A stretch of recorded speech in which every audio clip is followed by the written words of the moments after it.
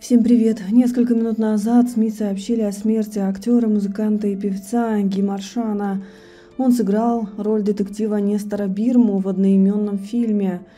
Не стало актера по естественным причинам. В заявлении его детей говорится, что он мирно скончался в больнице Кавайон во Франции.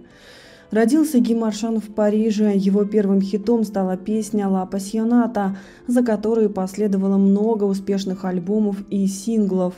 Помимо страсти к музыке, он блистал в кино. В частности, в картине «Ромовый бульвар» он вместе с Лино Вентурой и Брижит Бардо исполнил главную роль.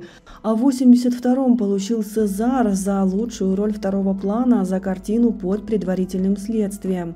Его личная жизнь была столь же насыщенной, как и карьера.